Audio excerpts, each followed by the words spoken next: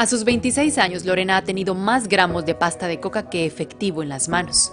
En este punto, casi perdido de la selva colombiana, los campesinos negocian con la moneda que fabrican, la base de la cocaína que inunda a los Estados Unidos. Siempre me acuerdo que hemos trabajado con eso, pagado, comprado, con gramos.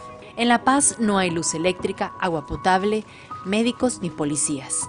Todos viven de lo mismo, el cultivo y procesamiento de la hoja de coca. Pese a que la cocaína alcanza precios exorbitantes, los productores aseguran que la actividad apenas les da de comer y los mantiene endeudados y bajo la mira del gobierno.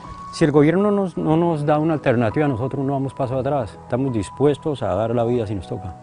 Aquí no, no, aquí no nos dejamos intimidar del Estado. Así pase lo que nos maten o pase lo que pase. Nosotros para atrás no echamos. Para los productores, otros cultivos como plátano, maíz o yuca no son rentables. Mientras un bulto de plátano debe pagar un flete, un kilo de coca lo puede llevar alguien en el bolsillo. Es difícil uno puede llevar esa, esa, esa, siempre como ese, ese título de que somos guerrilleros o que somos narcotraficantes, viendo que somos el labón más bajo que hay en esta cadena. Según algunos de sus 300 colonos, los pobladores no se matan entre ellos gracias a las autoridades del Frente Guerrillero que se apartó del acuerdo de paz con las FARC.